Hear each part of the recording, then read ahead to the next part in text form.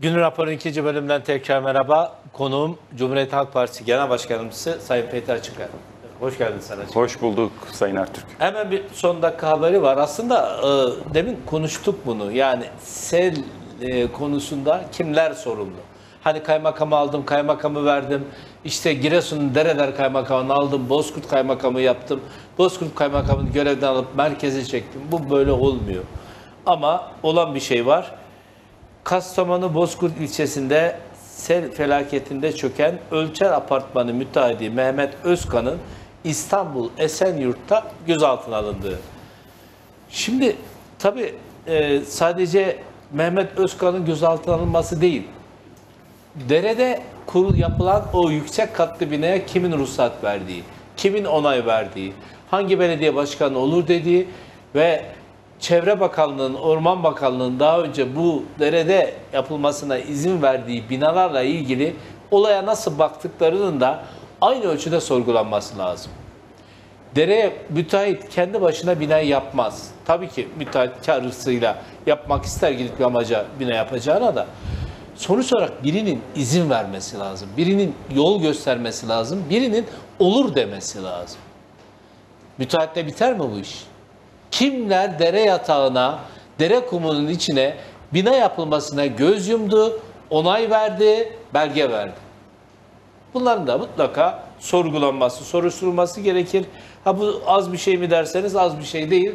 En azından hesap sormaya başlamanın bir yolu, bir yöntemi diye de düşünebilirsiniz. Sayın Açıkel siz ne düşünüyorsunuz gerçekten?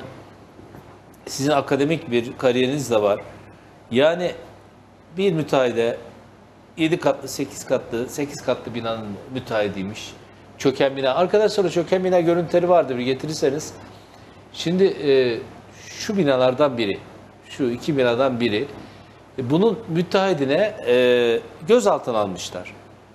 Böyle hesap sorulur mu? Böyle sorun çözülür mü? Böyle e, yanlış mimari ve e, yanlış hesap e, bir anlamda Bağdat'tan döner mi? Şimdi Sayın Ertürk e, maalesef Türkiye'nin en önemli sorunlarından bir tanesi Türkiye'nin e, kentlerimizin çarpık yapılaşması, e, doğayla mücadele edercesine dere yataklarına, doğal kaynaklara zarar verircesine göl kıyılarına ve deprem fay hatlarına büyük inşaatların, büyük kentlerin kondurulması. Bugün de e, büyük e, İstanbul depreminin e, yıl dönümü. E, hayatını depremde ve doğal felaketlerde kaybeden yurttaşlarımıza Allah'tan rahmet diliyoruz. Kastamonu'da, Sinop'ta, Muğla'da, Antalya'da, Türkiye'nin her yerinde e, Adapazarı'nda, İstanbul'da hayatını kaybeden, doğal felaketlerde, depremde, selde, yangında kaybeden tüm yurttaşlarımıza Allah'tan rahmet diliyoruz. E, fakat yöneticilerimize de biraz akıl ve e, sağduyu temenni ediyoruz. Çünkü Türkiye'nin bir deprem bölgesi olduğunu ve fay hatlarının üzerine oturduğunu e, yüzyıllardır e, Türkiye'nin e, bina yapan ustaları biliyor. İnşaat mühendisleri biliyor, akademisyenleri, jeologları biliyor.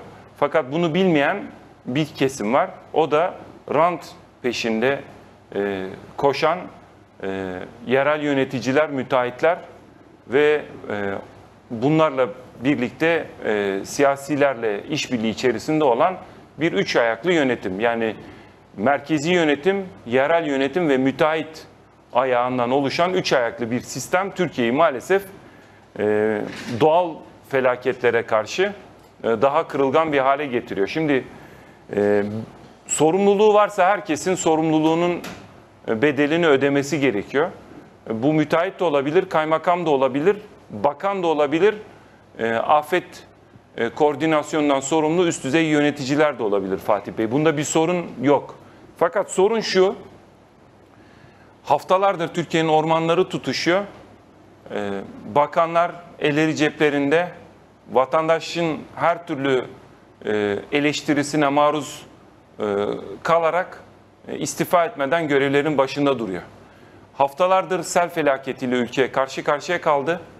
kalıyor. Maalesef çok sayıda Bozkurt ilçesi başta olmak üzere, Sinop Ayancık başta olmak üzere e, hayatını kaybeden yurttaşımız var. E, bakanlar ve sorumlular görevlerinin başında. E, istifa müessesesini Adalet ve Kalkınma Partisi kendisinden başka herkese uyguluyor. Uzmanlara yıllardır kulağını tıkayarak ilerleyen bir parti. Kentleri kötü yöneten, arsaları kötü yöneten, doğal kaynakların ortaya çıkardığı riskleri analiz edemeyen, bilime ve teknolojiye kulağını tıkayan bir yönetimle karşı karşıyayız. Bunun da bir tek nedeni var. Ranta dayalı bir büyüme stratejisi seçtiler. Ranta dayalı bir bürokrasi yarattılar. Ranta dayalı bir yerel yönetim yarattılar. Bu kupon araziler üzerine kurulu Türkiye'nin dere yataklarını, AVM'leri açan, e, heyelan bölgelerini, su kaynaklarını Kanal İstanbul'a tahsis eden bir rant yönetimi var. Ve bu rant yönetiminin Türkiye'yi bugün itibariyle getirdiği nokta maalesef e, felaketler, yıkımlar, e, bir büyük devlet yönetimi beceriksizliğiyle karşı karşıyayız. Fatura bir kaymakama kesiliyor, fatura bir müteahhite kesiliyor. Sorumluların sadece kaymakamla ve müteahhitle sınırlı olmadığını bütün vatandaşlarımız biliyor. Bakanlar, genel müdürler, e, Türk Hava Kurumu'nun uçaklarını uçuramayan Cumhurbaşkanlığı sistemi, Cumhurbaşkanı'nın bizatihi kendisi çünkü Fahri Başkanı e, milyarlarca dolar e, özelleştirme gelirini, milyarlarca dolarlık deprem vergisini e, ormanları korumak için, su kaynaklarını korumak için, sel yataklarını e, ıslah etmek için kullanması gereken yetkililerin hepsi görevlerinin başında duruyor. E, fatura gene gariban e, vatandaşa, e, yakınlarını kaybeden vatandaşa kesiliyor. Acıklı olan da şu, Bozkurt ilçesinde de Karadeniz'de de gördük. Elektrik ve diğer faturalarının 3 ay öteleneceğinin müjdesini vermiş bakanlık. Yakınlarını kaybetmiş, evini kaybetmiş, arabasını, malını, mülkünü, geçmişini, ailesini kaybetmiş insanlara faturalarınızı 3 ay öteliyoruz diyorlar. Depremde evi yıkılanlar evsiz, selde evi yıkılanlar, aileleri dağılanlar umutsuz bırakılıyor.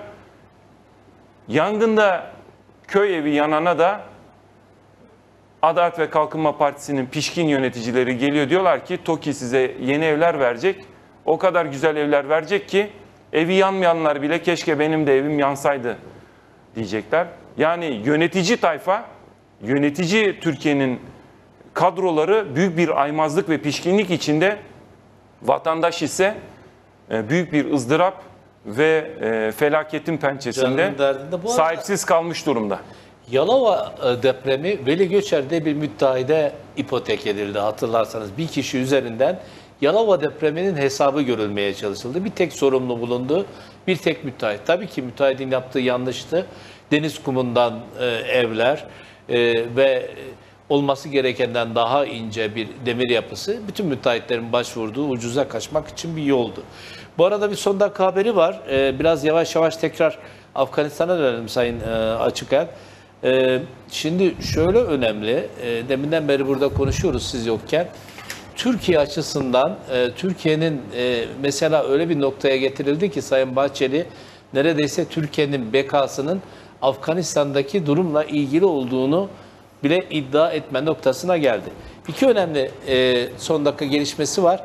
Biri MİT'in de Taliban ile görüşmeye dahil olduğu bilgisi. Bu yeni bir bilgi, önemli bir bilgi.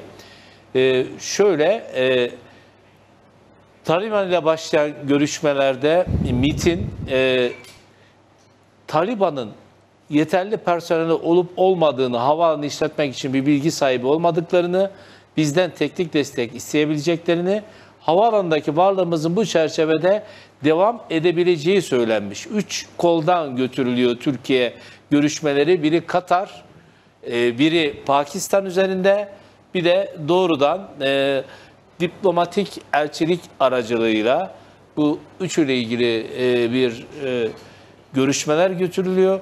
Önemli bir şey Taliban'ın askeri yetkileriyle Türkiye'nin e, Pakistan üzerinden görüştüğü, Katar üzerindense siyasi kanatla temas halinde olduğu söyleniyor. Yani aslında çok bilinmeyen bir denklem bu. Bakın 600 asker orada. NATO göreviydi. Amerika oradaydı. NATO görevi bitti. Amerika çekildi. 600 askerin bundan sonra 1 Eylül'e kadar NATO görevi çerçevesinde kalması mümkün ve muhtemel. Ama sonra ne olacak? Taliban derse boşaltın ne yapacaksınız? Daha önce öyle demişlerdi.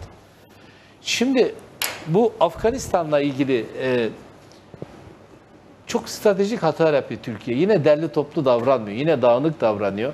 Yine e, Afganistan'a gelen yeni yönetimle görüşmeleri başka ülkeler üzerinden götürmeye çalışıyor. Askeri açıdan Pakistan'la konuşuyor, Taliban'la konuşmak için. Siyasi açıdan da Doha'yı kullanıyor. Yani e, Katar üzerinden görüşüyor. Ayrıca MIT'i de devreye sokmuşlar. Milli İstihbarat Teşkilatı da bir anlamda oradaki askerlerin konumu ve Kabil Havaalanı'nı Türk askerlerin korumaya devam etmeyeceği konusunda bir açılım başlatmış. Nereye varacak bu iş? felakete varacak. Zaten felakete varıyor. E, maalesef e, Afganistan'da olanlar e, öngörüsüz bir şekilde Batı'nın emperyal ülkelerin müdahaleleri ve trilyon 2 trilyon dolara yakın Afganistan'da savaş için harcanan dolarlar ne Afgan halkına mutluluk getirdi ne bölge halklarına mutluluk getirdi ne de Afganistan'dan kaçan mültecilerin bir tür toplama kampına dönüşmüş olan başta Türkiye olmak üzere bölgedeki ülkelere mutluluk getirdi. Yani bu felaketten ve e, sürdürülemez insani dramdan başka bir şeye yol açmadı. Bunun felakete yol açtığı çok açık. Şimdi hükümet ne zaman sıkışsa, saray yönetimi ne zaman sıkışsa Fatih Bey bir beka, beka sorunundan bahsediyor. Bir beka sorunu diyor. Türkiye'nin diyor doğu sınırları Kabil'de başlar diyor. Ee, Türkiye'nin diyor e, bölgedeki tüm güçlerle görüşmeleri devam ediyor. Her şey kontrol altında diyor. Oysa gerçek çok farklı. Yurttaşlarımız şunu çok açık bir şekilde görüyor. Türkiye'nin sınırları kevgire dönmüş durumda. Ağrı'dan, Hakkari'den, Doğu Beyazıt'tan, Van'dan giren soluğu İstanbul'da alıyor. Soluğu İzmir'de alıyor. Adana'da, Mersin'de, Ankara'da alıyor. Ve bu insan göçü, insan seli bu da bir tür afet gibi hükümetin beceriksiz politikaları tarafından yönetilemiyor. Elinizde liyakatli diplomat kadrolar yoksa, elinizde basiretli sınırı koruyacak İçişleri Bakanı yoksa, Türk Silahlı Kuvvetleri'nden sorumlu Savunma Bakanı, İçişleri Bakanı ayakta uyuyorsa, diplomat tayfa tasfiye edilmişse beka sorunu diye çıkar vatandaşı teskin etmeye çalışırsınız. Aslında olan beka sorunu değil. Yöneticilerin zeka sorunu var. Bunu öngörmeleri gerekiyordu. Türkiye yıllardır düzensiz göç alan bir ülke haline gelmiş durumda. 2011 e, Arap Baharı'ndan bu tarafa Türkiye'nin izlediği yanlış, her türlü zekadan yoksun müdahaleleri yüzünden Türkiye'de resmi rakamlara göre 4 milyon ama 5 milyondan aşağı olmayan bir Suriyeli e, sığınmacı sorunu var. 1 milyondan fazla bir Afgan sığınmacı sorunu var. Türkiye nasıl seli kontrol edemiyorsa afet olarak göçmen selini de kontrol edemiyor. E burada da kimi görevden alacaksınız? Müteahhiti kaymakamı mı görevden alacaksınız? Bu felaketin beka sorunuyla değil, hakikaten başkanlık sistemi denilen sistemin yöneticilerinin zeka sorunu, basiret sorunu, öngörü sorunu ve liyakat sorunu ile ilgisi var. Bakın Türkiye almaması gereken riskleri Mehmetçi'ye aldırmaya çalışıyor. Adalet ve Kalkınma Partisi Genel Başkanı Sayın Erdoğan Mehmetçi'yi ateşe atıyor. Raşit dostum sarayını terk etti kaçtı. Özbekler kaçıyor. Ee, Afganistan'da önemli bir azınlık olan Hazaralar İran'a sığınıyor. Peştunlar Taliban'la çatışmalı olan insanlar uçaklara binip uçaklardan düşmeyi göze alarak insanın içini acıtacak sahnelere tanık oluyoruz. Ülke boşalıyor. Bizimkiler olay kontrolümüz altında biz bu işi kontrol edeceğiz diye Avrupa Birliği ülkeleriyle ve Amerika ile NATO ile yaptıkları gizli pazarlığı vatandaşımıza el altından kabul ettirmenin telaşında. Biz diyoruz ki Cumhuriyet Halk Partisi olarak Fatih Bey, Mehmetçiğin ayağına çakıl taşı değmeden Mehmetçiği memlekete getirin.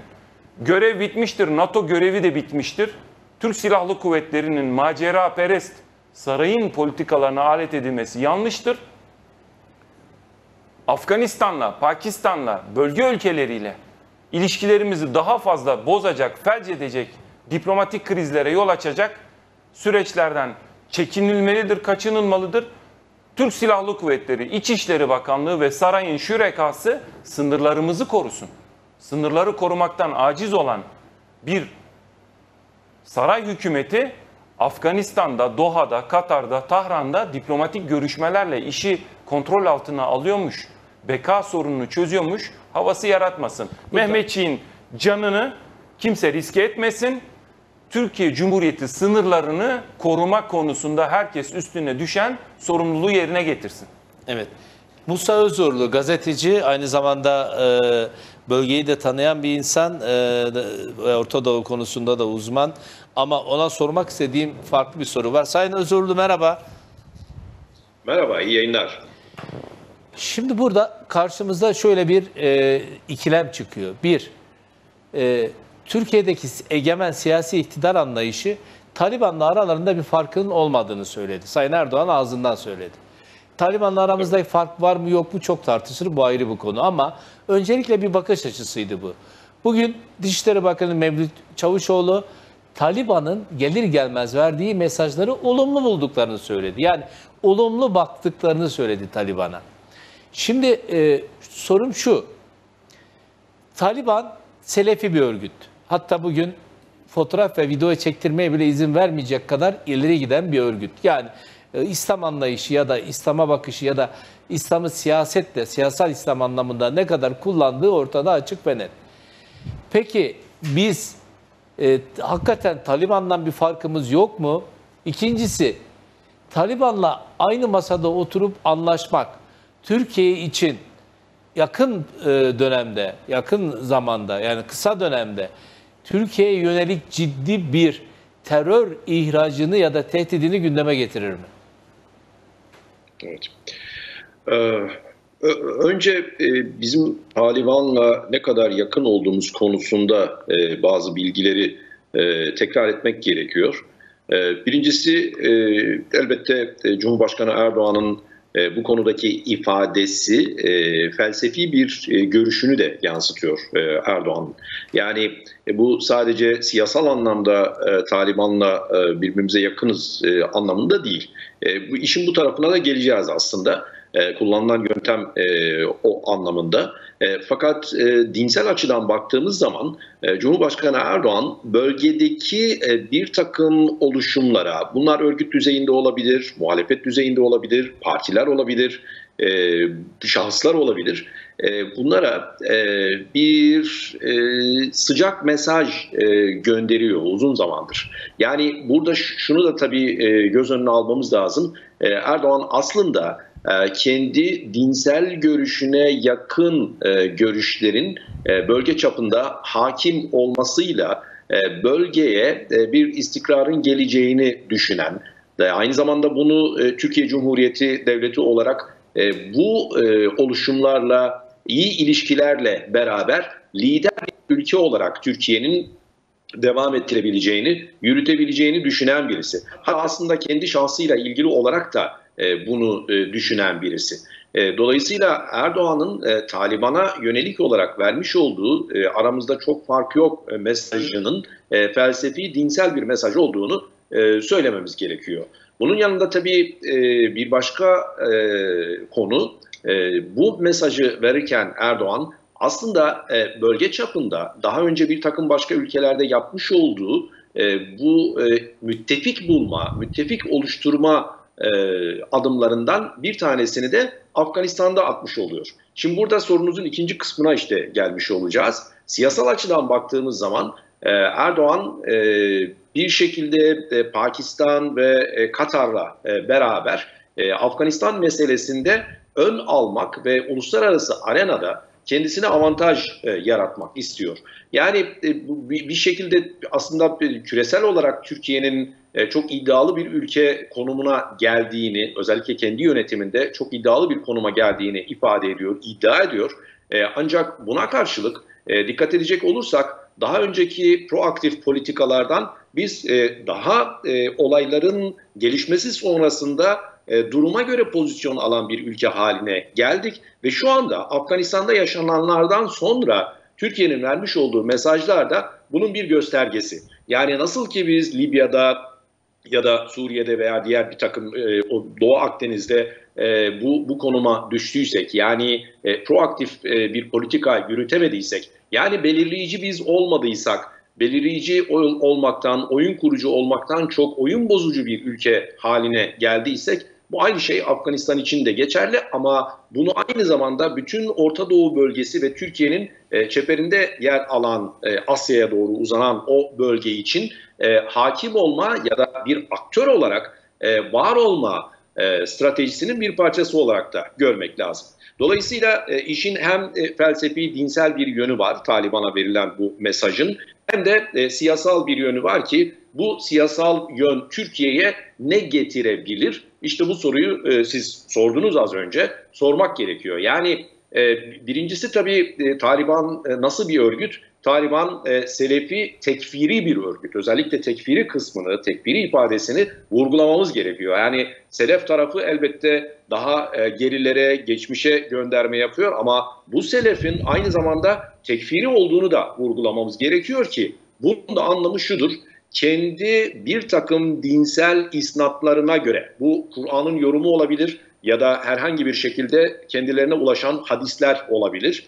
Ee, bunlara göre kendilerinin dini anlayışının dışındaki en ufak bir sapmayı yani karşıtı olmasını kastetmiyorum. Kendilerine benzese de aslında kendi anlayışlarından en ufak bir sapmayı kafirlik olarak gören, dolayısıyla başkalarını tekfir eden, onları kafirleştiren bir e, anlayış. Bunun da bir takım kanunları var. Yani kendi dinsel anlayışları içerisinde bir takım kanunları var Burada işte recmetmekten, kırbaçlamaktan, bir takım işte e, başka e, cezalar vermekten ta ölüme kadar, kafasının kesilmesine kadar insanların e, bir şeylerden bahsedebiliriz. Aşamalardan bahsedebiliriz ki Taliban böyle bir örgüt, Taliban böyle bir anlayış. Kaldı ki Türkiye'de zaten Taliban'ı aslında bir terör örgütü olarak görüyor. Şimdi böyle bir anlayışla siz nasıl bir işbirliği yapabilirsiniz? Şu söylenebilir. E, Taliban uzakta bir e, örgüt yani Afganistan'da bir örgüt.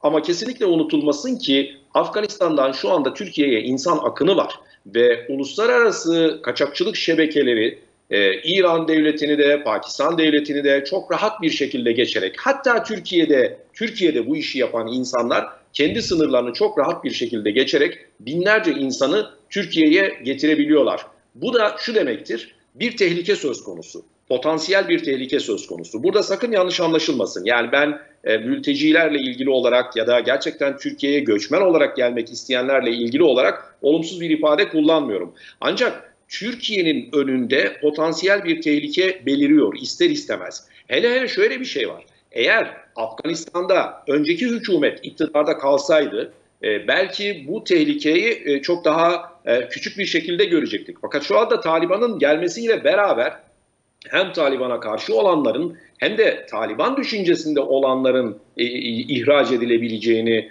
e, Pakistan şey e, Afganistan dışına çıkabileceğini e, söylememiz gerekiyor ki tehlike ikiye katlanmış durumda. Dolayısıyla Türkiye'ye yönelik böyle bir akının e, olacağını, bu akın içerisinde dediğim gibi gerçekten göçmen olarak gelmek isteyen yani yaşam standardını daha iyi bir şekilde sağlayabileceğini, yükseltebileceğini düşünenlerle beraber Aynı zamanda Taliban'dan kaçarak, insan hakları ihlallerinden kaçarak, uluslararası mülteci tanımına uyarak Türkiye'ye gelecek olanların yanı sıra evet bir e, terör ihracı da söz konusu olacaktır. Şimdi burada tabii e, sadece bunu işte e, Taliban'la sınırlı tutmayıp hani daha önceden bir takım örnekler aktaralım. Örneğin IŞİD yani Suriye tarafında ve işte Irak tarafında yaşanan gelişmeleri biliyoruz. Büyük konsolosluk görevlerimizi e, rehin alacak kadar ileri gitmişlerdi bu örgütler. Ve şu anda bunlar Türkiye için büyük bir e, potansiyel tehlike oluşturuyorlar ki Türkiye'de ben e, hücre e, evlerinin olduğunu e, düşünüyorum. Yani IŞİD'in e, bu ayrı bir konu ama şöyle bir şey var. Yıllar içerisinde eğer dikkat edecek olursak bu e, çiçek biz farkında olmadan büyüdü ve bunun e, şu anda biz büyüdüğünü görüyoruz. Yani işit açısından baktığımız zaman. Oysa e, Türkiye'de hiç böyle bir tehlikenin olmadığı düşünülüyordu. Fakat öyle bir çağda yaşıyoruz ki yani bugün Afganistan'dan çıkan, Pakistan'dan çıkan bir takım örgütlerin, El-Kaide'nin mesela e, gidip Amerika Birleşik Devletleri'nde e, eylem koyabildiğini görüyoruz. Ya da başka bir takım ülkelerde eylem koyabildiğini görüyoruz. Ya da işte bunların mesela şöyle e, bir yapılanmaları söz konusu.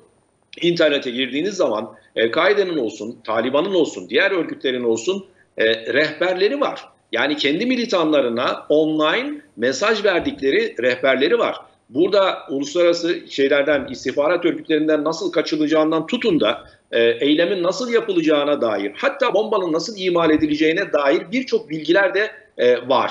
Dolayısıyla artık mesele işte coğrafik olarak Afganistan'ın Türkiye'den uzak olması meselesi değil. Bu, bu nedenle de e, evet Afganistan'da böyle bir örgütle e, işbirliği yapmak aynı zamanda e, elimizi ateşe atmak demektir ki bu e, Türkiye açısından gerçekten de büyük bir e, tehlike potansiyeli taşıyor. Bir şey daha var. Yani bütün bu gelişmeler sonrasında Türkiye daha önce hani hep Avrupa ile Asya arasında köprüdür e, ifadesini kullanırdık. Ama bence şimdi artık Türkiye e, bir tampon ülke haline getirildi. E, tampon ülke haline geldi. Bizatihi bu ülkenin yöneticileri tarafından ve Avrupa'nın ve Batı'nın kendisine biçtiği roller e, bakımından ki son dönemde özellikle işte Avrupa'dan yani Almanya'dan Merkel dahil işte Macron'un da açıklamaları var. E, Türkiye'ye mülteciler konusunda yardım edilmesi gerektiğini söylemeleri Türkiye'nin e, bu pozisyona geldiğini gösteriyor. Kısacası bizim e, Taliban'la işbirliğimiz herhangi bir şekilde kısa ya da uzun vadede işimize yarayacak bir işbirliği değil, tam tersi tehlikeler barındıran bir işbirliği. Peki Sayın Özorlu çok teşekkür ederim katıldığınız ve verdiğiniz Ben bilgiler için. Çok sağ olun. Kolay gelsin. Sağ olun.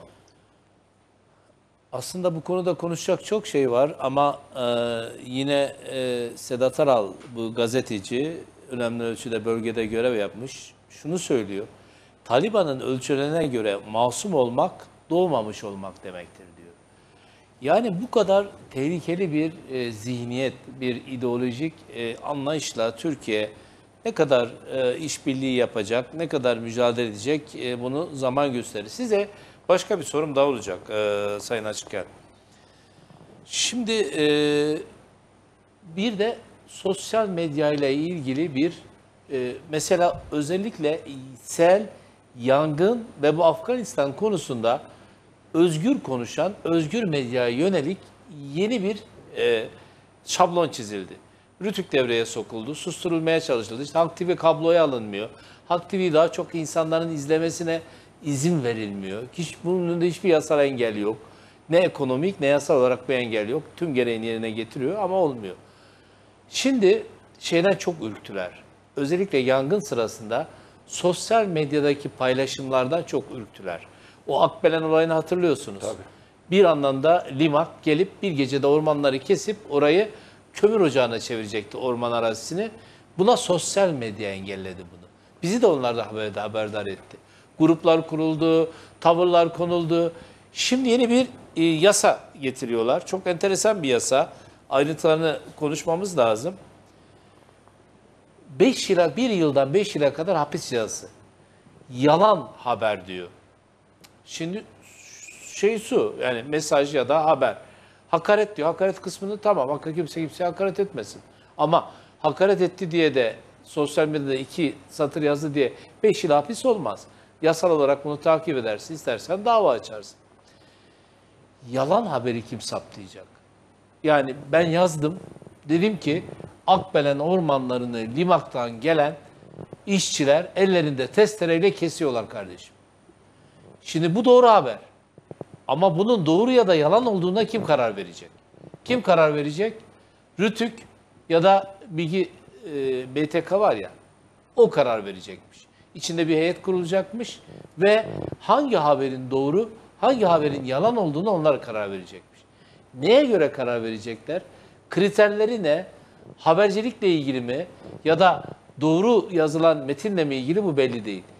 Böyle bir yasa çıkarsa ki Sayın Erdoğan talimatını verdi. Parlamentoya gelmek üzere. Böyle bir yasa gelirse ne olacak? Şimdi Cumhuriyet Halk Partisi ve Türkiye'nin tüm demokratları böyle kısıtlayıcı ve yurttaşların, vatandaşların doğru bilgi sahibi olmasını önleyen bir yasa karşısında sonuna kadar mücadele edeceğiz. Meclis zaten milletvekillerimizin e, dişe diş mücadele ettiği, e, sonuna kadar e, yanlış yasa tasarılarını e, geçirmemek için direndiği bir alan. Biz e, sadece mecliste değil, e, hukuki olarak da sokakta da gerekli platformlarda da bu mücadeleyi veriyoruz. Sosyal medyadan çekiniyorlar Fatih Bey. Sosyal medyadan neden çekiniyor? Saray rejimi, saray hükümeti. Çünkü önlerinde bir prompter var. Prompter'ın tutarsızlıklarını gizleyemiyorlar. Belki bunları da gizlemek isteyecekler. Prompter okumaktan, okuma becerisini göstermekten, onun içerisindeki bilgileri yazmaktan aciz bir zihniyetle karşı karşıyayız. Bir söylediği bir söylediğini tutmayan, bir yazdığı bir yazdığını tutmayan havuz medyasının baskılamaya çalıştığı bir e, gazetecilik ortamı var. Şimdi Cumhurbaşkanı'nın bir gün söylediği bir gün söylediğini tutmuyor. Ekranda uyuklayabilir. Hepimizin sağlık sorunları var. Hepimiz yoruluyoruz. Bu insani bir şeydir. Fakat bunun sansürlenmesi doğru değil. Neyse o. İstiyorlar ki sadece kendileri görsel hafızayı belirleyebilsinler. Sadece kendileri gerekli şeyi yapsınlar. Şimdi vatandaş fakat bütün bu durumlara rağmen elindeki cep telefonuyla çekim yapıyor. Ağrı'da, Van'da bir çiftçimiz, bir köylümüz, bir yurttaşımız akın akın geçen Afganların filmini çekiyor. Ve diyor ki tarlamdan geçtiniz, arpa tarlasından, buğday tarlasından geçtiniz. Yazıktır, günahtır. Çiftçi zaten perişan olmuş. Onu da ezdiniz. Bu kadar insan buradan geçiyor. Bunları durduracak kimse yok mu? Bunu çekiyor, sosyal medyaya veriyor. Bu Ve- yalan mı şimdi? Peki buna Vi- yalan deyince vi- ne yapacağız? Viral oluyor. Yalan olur mu? Gerçeğin ta kendisi. Vatandaş bunu Nasıl ispatlayacak vatandaş bunun yalan bunun olmadığını? bunun ispatı diye bir şey söz konusu değil. Adalet ve Kalkınma Partisi ülkeyi yönetemediği tescil olmuş bir partidir. Ne göçmen selini engelleyebiliyor, ne yoksulluğu engelleyebiliyor, ne sele karşı tedbir alabiliyor, ne orman yangınlarına karşı tedbir alabiliyor. Vatandaş çekimle orman hangi bölgelerin yandığını, nerede e, vatandaşın itfaiyesinin, Cumhuriyet Halk Partisi belediyelerinin yangın söndürmeye geldiğini, nerede uçak, helikopter olup olmadığını sosyal medyaya veriyor. Eğer diyor buradan diyor tespit ederseniz siz haklısınız. Tespit edemezseniz vatandaş haklı. Vatandaş gazeteciliği diye bir şey başladı sosyal medyada. Yurttaşlar bunu yayıyor ve Halk TV gibi, Tele1 gibi, e, KRT gibi, Fox TV gibi e, çok sayıda TV5 gibi çok sayıda olmayan özgür haber alma hakkımızı savunan medya organlarını kısıtlamak istiyorlar. Ekşi sözlüğü kısıtlamak istiyorlar. Bakın vatandaş şunu soruyor sosyal medyada. Bunu nasıl kısıtlayacaksınız? Bunu A Haber'de, TRT'de veya e, vatandaşın vergileriyle finanse edilen kamu e, haber ajanslarında göremiyorsunuz. Bu kadar kadın haklarını ihlal etmiş, çocuk haklarını ihlal etmiş, insan haklarını ihlal etmiş Taliban'la görüşüyorsunuz fakat Esad'la görüşmüyorsunuz. Esad Taliban'dan daha mı suçlu?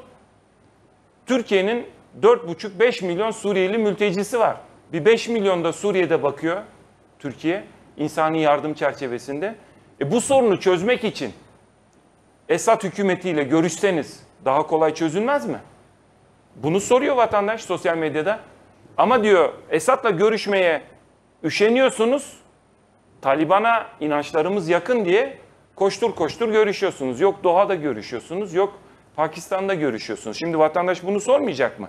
Bunu tabii ki soracak. Bakın vatandaş şunu soruyor sosyal medyada Fatih Bey. Mehmetçiği Afganistan'da tutmaya çalışıyorsunuz. Peki Musul Başkonsolosluğu basıldığı ve rehin alındığı gibi bir durumla Mehmetçiğimiz karşılaşırsa ne yapacaksınız? Bunu ne yapacaksınız görüntüleri sosyal medyaya çıktığı zaman? Böyle bir şey yok mu diyeceksiniz. İdlib'de 36 Mehmetçiğimiz şehit oldu. Rusya'nın bombalaması sonucunda. Bunun görüntüleri, binanın, yıkılan binanın görüntüleri sosyal medyaya sızdı. Taşınan ambulanslar, ambulanslarla yaralılarımızı, şehitlerimizi taşıyan görüntüler medyaya sızdı. Ve hükümetin İdlib'de Türk Silahlı Kuvvetleri'ni Mehmetçiği ne kadar büyük bir aciz içine soktuğu yanlış dış politikanın Şimdi bunu yayınladığımız zaman artık bu yalan haber olacak. yalan haber olacak. Peki Çünkü buna e, demin hakikat söyledim. yalan oldu. Yala- sarayın yalanları da hakikat oldu. Şimdi bakın 640 milyon liralık yazlık saray yaptırmış. Bunun görüntüleri çıkıyor. 20 tane yangın söndürme uçağı alabiliyorsunuz bu yazlık sarayla. Vatandaş bir tarafta bakıyor yazlık saray Marmaris'te 640 milyon lira 70-80 milyon dolar ediyor. Bir tarafta yerlerde duran hangardan çıkarılmış piste bekletilen yangın söndürme araçları ve bir, bir süre sonra bunlara karartma getiriliyor, buğulanıyor. Neden? Çünkü uzaydan bakıldığı zaman bunların piste bekletilen yangın söndürme araçları gösterilmesin deniyor. Peki ne olacak yani vatandaş prompterdan söylenenlere mi inanacak? Sosyal medya, bağımsız medya, yurttaş gazeteciliği, yurttaş medyası ne olacak? E bunları konuşmamız lazım. Bakın sosyal medya sayesinde Türkiye'de kadınların uğradıkları tacizler kayıt altına alınabiliyor. Hırsızlar, mafya, şiddet tespit edilebiliyor ve bazen emniyet güçlerimize delil sunabilecek e, bilgi ulaştırılabiliyor. Ne yapıyor? Vatandaş mahallesine sahip çıkıyor. Vatandaş sokağına sahip çıkıyor. Vatandaş kadınların şiddete, tacize, tecavüze uğramaması için tespit ediyor. Fakat benzeri bir hassasiyeti Türkiye Cumhuriyeti güvenlik güçlerinden yurttaşlar bekliyor. Neyi bekliyor? Sızmış, Musa Bey çok güzel söyledi. İçimize sızmış işit hücreleri, Taliban hücreleri var. Suriye'den, Irak'tan, Afganistan'dan. Bunların bir kısmı tespit edildi geçtiğimiz günlerde. Bunlara vatandaşlık verildiği tespit edildi. Vatandaş bunun bilgisine sahip değil. Vatandaş soruyor. Bakın ben Mart ayında e, Türkiye Büyük Millet Meclisi'ne e, ve Cumhurbaşkanı Yardımcısı Sayın e, Fuat Oktay'a ve e, İçişleri Bakanı Süleyman Soylu'ya Mart ve Nisan aylarında iki e, yanıtlamaları e, için iki soru sordum. Bunlardan bir tanesi 2011 yılından bugüne kadar Türkiye Cumhuriyeti vatandaşlığı verilen sığınmacıların uyrukları ve sayıları nedir? Geldikten sonra bu kişilere verilmiş istisnai vatandaşlık statüsü nedir? Bunlar nerede istihdam ediliyor? Bunlar arasında suça bulaşanlar var mıdır? Bunlar tespit edilmiştir sorusu sorduk. Kullanılan kaynaklar sığınmacılar için nedir miktarı? Yardımın, kredinin, hibenin, fonun bunların toplam bedelini sormuşuz. Gelen cevap Alabildiniz bir cevap. Cevap şu. 5901 sayılı Türk Vatandaşlığı Kanunu ile Türk Vatandaşlığı Kanunu'nun uygulanmasına ilişkin yönetmeliğe gerekli göre gerekli iş ve işlemler yapılmaktadır. Evet bu, bu cevap oldu Cevap şimdi. var. E şimdi insanlar soruyor. Bilgilendiniz yani. Sokakta dolaşan Afganlı, Suriyeli ile ilgili vatandaşımız soruyor. Bunlar kim finanse ediyor? Bunlara verilen yardımlar nedir? Bunlar parayı nereden alıyor? Reyna katliamını yapan, İstanbul Atatürk Havalimanı'nın katliamını yapan, Sultanahmet'te, İstiklal Caddesi'nde, Ankara Garı'nda, Suruç'ta, Niğde'de katliamı yapan teröristlerin aramızda dolaşıp dolaşmadığını nereden bileceğiz? Vatandaş bunun fotoğrafını çekiyor, e, bayrak asanı, e, tekbir getireni, kadınların üzerine yürüyeni, sokakta birbirini bıçaklayanı çekiyor ve paylaşıyor. Sosyal medyada vatandaş devletin yapmadığı şeyi yapıyor Fatih Bey. Şimdi bunu yasaklamaya kalkıyorsunuz. Yasaklayacaksanız Türkiye'de prompter'ı yasaklayacaksınız. Bir Evet. de istifa etmeme mekanizmasını yasaklayacaksınız. Güzel bu konu. Taylan Yıldız, Doktor Taylan Yıldız İstanbul Büyükşehir Belediye Meclisi üyesi İyi Parti'den aynı zamanda kendisi bir iletişimci. Sayın Yıldız merhaba. Merhabalar, iyi yayınlar diliyorum. Sağ olun. Yani bu e, yeni düzenleme e, yani Bil- Bilgi Teknoloji İletişim Kurumu ya da RÜTÜK içinde bir sosyal medya başkanlığı kurulmasının öngörüldüğü ve yalan haber için 5 yıl hapis 1 yıldan 5 ile TCK'da Türk Ceza Kanunu'nda dezenformasyon ve mezenformasyon gibi yeni suçların alınması. Ya ne yapmaya çalışıyorlar? Yani e, diyelim ki yani bu ülkede yaşayan yurttaşların zaten e, televizyonlar karartma altında, %90'ı tek bir ses, gazeteler baskı altında, e, bütün iletişim araçlarına el konulmuş, bir ses sosyal medyası kalmış halkın. Şimdi orada doğruları birinin çıkıp yazıp çizmesine, fotoğraf koymasına, görüntü koymasına engel olmaya mı çalışıyorlar? Asıl hedefleri, amaçları ne? Bunu başarırlarsa Afganistan'da olanlardan nasıl haber alacağız? Sınırda olanlardan nasıl haber alacağız? Altındağ'da olanlardan nasıl haber alacağız? Yangından nasıl haber alacağız? Selden nasıl haber alacağız? Valla Fatih Bey, e, Türkiye'deki sorun şöyle, bunu biraz tarihsel perspektife koymak lazım. Maalesef iktidar e, kendi hikayesini, topluma vermek istediği mesajı sonuna kadar kontrol altına almaya çalışıyor. Ve de o konuda bakacak olursak, bildiğiniz gibi gazeteleri, e, normal konvansiyonel medyayı tamamen ele geçirdikleri için orası Twitter'a taşındı. Televizyonları ele geçirince de televizyonlar YouTube'a taşındı. Hatırlayalım 2018'de bir kanun geçti. Ritük dedi ki ya kardeş dedi bundan sonra ben e, yayın yapan herkes benim denetimin altında olacak dedi. Gerekirse o insanlara ben e, şeyden e, emniyet müdürlüğünden gerekirse MİT'ten bunların a, soruşturmasını da yaptırabilirim. E, her türlü şüphelendiğim insanlardan. Böyle bir tahakküm kurmaya çalıştılar ki sosyal medya üzerinden böyle bir şey yapmak gerçekten akıllara ziyan bir şey. Zamanında bunu itiraz etmiştik. E, Fethi Bey de itiraz etmişti. Sonra sosyal medya yayıncılarıyla olan dertlerini bir kenara koydular kanunu geçirince. Dediler ki o da yetmez artık sıradan vatandaşa bir tahakküm koyalım dediler. Sonra dediler ki bunu nasıl yapacağız? İşte yaptığınız sizin yayınları herhangi bir şeyi kaldırmazsanız hem siz hem de yaptığınız platform üzerinden işte milyonlarca lira siz sorumlu olursunuz. Atıyorum Ekonomik Baka Ekonomi Bakanlığı'na bir şey söylediğiniz zaman Ekonomi Bakanlığı'nın markasını zedelersiniz, ceza alabilirsiniz diye ikinci bir kanun çıktı. Bu sefer de insanları bu alanı daraltmaya çalıştı. O da bitti. Şimdi dediler ki mahkemeler de yetmiyor. Çünkü biz bu işi mahkemeler üzerinden yapmak istemiyoruz. Çünkü o kadar çok kişiyi tehdit etmek istiyoruz ki bunu mahkemeler üzerinden yapacak kadar vaktimiz yok dediler. O zaman ne yapacağız? Biz o zaman bir kurum kuralım. Yani nasıl bugün 450 bin tane web sitesi Türkiye'de kapalıysa ve bunun %90'ından fazlası da mahkeme kararıyla değil de BTK ve benzeri hatta benzeri kurumları söyleyeyim size. Jockey Kulübü, ondan sonra Milli Piyango İdaresi gibi kurumlar tarafından kapatılıyorsa şimdi de e, sosyal medya üzerindeki tahakkümü yargıdan alıp ki orada e, yargı üzerindeki zaten tahakkümleri belli o bile yetmemiş ondan alıp bir kurum üzerinden yapmak gibi bir amaçları var. Ve bu tamamen bir sansür e, durumu. Çünkü zaten yalan haber dediğiniz şey Türkiye'de tekzibe tabi. Ve tekzip olduğu zaman da onu yayınlamak zorundalar. Ve insanlar da hakaret davası da açabilirler. Bunu birçoğunuz da zaten biliyordur, izleyicilerimiz de biliyordur. Yani bu konuda bir kanuni bir boşluk zaten yok. Bunu bir e, kurumun yapmasının da herhangi bir gerekliliği yok. Bu tamamen bir sansür kanunudur. Peki e, yani ölçü ne? Ben ölçüyü anlamadım. Mesela sizin e, sosyal medyadan paylaştığınız bir fotoğraf ya da bir kısa metinle ilgili bunun doğru ya da yalan olup olmadığına hangi merci karar verecek? Nasıl karar verecek? Yani neye göre karar verecek? Ölçü ne olacak? E, burada bir ölçü zaten belirtilmemiş. E, içinde inanılmaz afaki bir durum var maalesef Fatih Bey.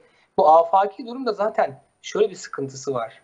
İnsanlarda otosansüre sebep oluyor. Bugün gençlere soruyorsunuz sokaktan geçen gençlere. Sizin için en önemli şey nedir diyorsunuz? %30'u zengin olmak diyor, %90'ı ifade özgürlüğü diyor. Bakın %90'ı.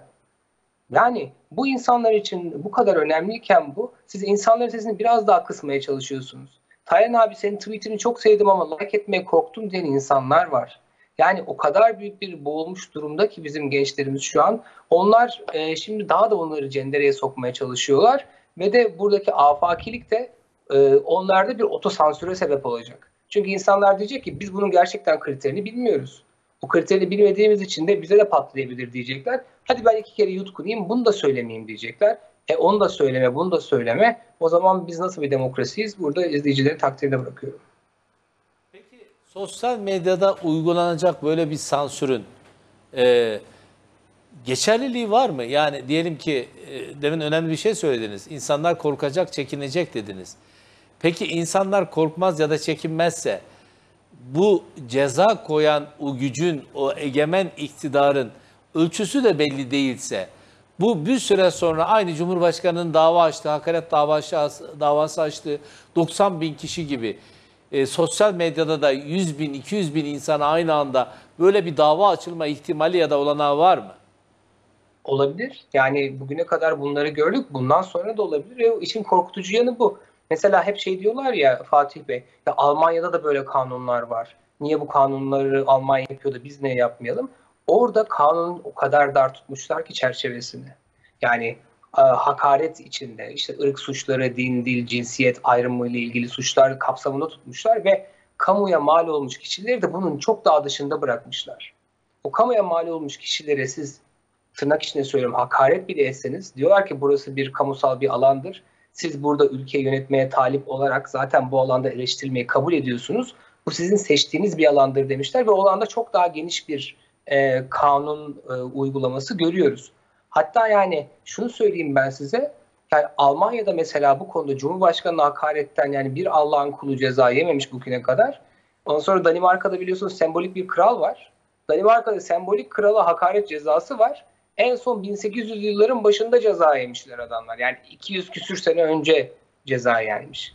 Yani gerçekten burada yurt dışını istedikleri zaman aslında göstermeye çalışıyorlar ama olay gerçekten abes. Yani bilmeyen insanlar için belki e, bu konular biraz daha şey kalıyordur, muğlak kalıyordur ama yurt dışındaki uygulamaları kesinlikle demokrasiyle çelişmiyor. Peki Sayın Taylan Yıldız çok teşekkür ederim e, katıldığınız için. Daha kapsamlı bir programda tekrar buluşmak üzere. Çok sağ olun. İyi yayınlar diliyorum. Görüşmek üzere. Aslında ya hep bu yasakları mı konuşacağız, hep bu sansürü mü konuşacağız? Yani gerçekten yani gına geldi ya e, Sayın Başkan. Yani hakikaten gına geldi ya. Yani dava açılır, e, rütük devreye sokulur, insanlar susturulur, yayınınız kablo TV'ye alınmaz. Sizinle ilgili kısıtlamalar getirir, zorlamalar getirir, eziyet, baskı, zulüm. Yani nereye kadar? Çok az kaldı Sayın Ertürk. Ee, çok az kaldı. Adalet ve Kalkınma Partisi artık ülkeyi yönetemediğini ve ilk seçimde de seçimi kaybedeceğini, açık ara kaybedeceğini biliyor. E, büyük bir tükenmişlik içerisinde e, ve çaresizlik içerisinde. Çünkü doluya koyuyor, olmuyor, boşa koyuyor, olmuyor. E, Türkiye'nin vatanseverleri, Türkiye'nin emekçileri, Türkiye'nin kadın erkek eşitliğine inanan tüm kesimleri, e, Türkiye'de kadın tacizine, çocuk tacizine e, karşı duyarlı tüm kesimler, asgari ücretin arttırılmasını isteyenler, hakikaten esnafın sıkıntılarını duyan, kobilerin e, sıkıntılarını duyan, çiftçinin perişanlığını, haciz altındaki çiftçinin perişanlığını hisseden herkes kötü bir yönetimle karşı karşıya kaldığımızı biliyor. Bakın biz seller olmadan da, yangınlar olmadan da önce bu mülteci göçü olmadan da önce AKP'nin ülkeyi kötü yönettiğini biliyorduk. Vatandaş da biliyordu. Fakat bu kriz derinleşince göçmen seli, heyelanlar, seller ve yangınlar ortaya çıkardı ki ortada devlet aklıyla düşünen bir kadro yok. Ortada saraya kendini hapsetmiş metin yazarları, Twitter troll yöneticileri, Rütük'te kimi sansürleyelim, hangi gazetenin önünü keselim, hangi gazeteciye soruşturma açtıralım, hangi televizyonun imkanlarını kısalım, ekranını kararttıralım diye düşünen otoriter zihniyette sarayın bürokratları var. Şimdi Türkiye Büyük Millet Meclisi'nde milletvekillerinin dokunulmazlıkları, kürsü dokunulmazlıkları yok. Fakat sarayın bürokratlarının her türlü dokunulmazlıkları var. Sarayın bürokratı istediği zaman bir televizyon görüntüsünü, internet görüntüsünü ortadan kaldırtabiliyor. Erişime kapatabiliyor. Hakikati kapatabiliyor. Bu da bize neyi gösteriyor Fatih Bey? Bunlar bitti. Bunlar bitti. Uzatmalar oynuyorlar. Biz bu memleketin vatanseverleri 84 milyon yurttaşı kucaklayacak, ülkenin tüm sorunlarını parça parça çözecek bir iradeyle geliyoruz. Bir şey söyleyeceğim. Ee, bugün Saygı Öztürk bir yazı yazdı, önemli bir yazı. Ya çok enteresan. Devlet içinde 3 milyar lirayı aşan bir bütçe kullanan bir kurum ya da kuruluşun Sayıştay tarafından hiçbir şekilde denetleme, denetlenemediğini düşünebilir misiniz? Neresi biliyor musunuz? Beştepe, saray. 3 milyarı aşan bütçeye sahip ve Cumhurbaşkanlığı ilişkin tek bir madde tespiti yok Sayıştay'da. 2014'ten bu yana Cumhurbaşkanlığına ait tüm harcamalarla ilgili tek bir denetleme söz konusu değil. 3 milyar liraya aşkın bir harcama var ve transferler var. Bakın 2.1 milyon liradan 2014'te 388,5 milyon liraya e, yükselmiş para transferi sarayın. Mal ve hizmet alımları ise 75 milyondan 1.8 milyar liraya fırlamış. Mal ve hizmet alımı. Peki nereye harcadınız? Parayı nereye transfer ettiniz? Siz bu parayı nereye e, koydunuz? Bir şey daha var. Sarayın kaç çalışanı var? Bilen var mı? 2014 yılından bu yana sarayın çalışan personeliyle ilgili Sayıştay'da bir tek satır bilgi yok. Ücretler ödeniyor. Paralar veriliyor. Ek ücretler ödeniyor. Ama saray çalışanları hakkında bakın burada rapor önünde. Yani afaki konuşmuyorum. Mesela burada rakamlar vermişler. Sağlık Bakanlığı'nda alt- 646 bin personel var. Diyanet'te 1402 personel var. Ama sarayda kaç personel var şu an hiç kimse bilmiyor. Sayıştay raporunda da yok. Saygı Öztürk kalem kalem kalem yazmış. Ya nasıl olur bu? Şimdi burada iki şeye şaşırmamak lazım Fatih Bey. O kadar güzel söylediniz ki. Ee, 3 milyar dediniz değil mi? Ee, 128 milyar doların nereye gittiğini vatandaş soruyor, soruyor. Sormaktan yorulmadık. Biz vatandaşımız adına soruyoruz. Onun hesabını vermeyen bir sorumsuz yönetim var. 128 milyar doları Merkez Bankası'nın bütün rezervlerini eriten bir sene içinde beceriksiz bir kibirli saray yönetimi var. Bürokrasisiyle, seçilmişiyle, atanmışıyla. Bunun cevabını vermeyen 3 milyar liranın cevabını verir mi? Sarayda kaç memurun, personelin çalıştığını bilmiyoruz ama onların büyük bir bölümünün 2, 3, 4, 5 maaş aldığını biliyoruz Fatih Bey. Vatandaş bunu biliyor. Bakın sosyal medyada viral oldu. Küçücük bir kızımız 11-12 yaşında diyor ki babam diyor emekli oldu 2000 lira emekli maaşı var. Biz diyor 5 kişilik bir aileyiz. Annem işe girmek zorunda kaldı. Çalışıyor. 2000 lirayla bir aile nasıl geçinsin diyor. Ben diyor kardeşlerime bakıyorum diyor. Bakın 11-12 yaşında Türkiye Cumhuriyeti'nin güzel bir kızı, biricik bir evladı 2000 liranın bir aileyi geçindirmek için ne kadar zor olduğunu biliyor. Fakat sarayda maaş üstüne maaş, ihale üstüne ihale, beşli çeteye, on beşli çeteye teşvik veren firma ne diyor yöneticiler? Söke söke alırlar diyor. Söke söke alacak olan saray değil, sarayın avaneleri değil. Bu milletin vatandaşları vergilerinin karşılığını söke söke alacak. 11-12 yaşındaki o çocuklarımız için bunu alacağız. Ee, sansür de bundan geliyor, baskı da bundan geliyor ama Türk milletinin, aziz milletimizin asil vatandaşları bu zalim, bu baskıcı, bu sansürcü yönetime dur diyecek. İlk seçimde gidecekler. Bunu biliyorlar telaşları bundan. Sayın Fethi Açıkal çok teşekkür ederim geldiğiniz ve katıldığınız için. CHP Genel Başkan Yardımcısı Fethi Açıkal ve diğer konukları dinledik. Az sonra İrfan Değirmenci ile yine ana haber var onu da kaçırmayın. Yarın aynı saatte buluşmak üzere. İyi akşamlar. Hoşçakalın.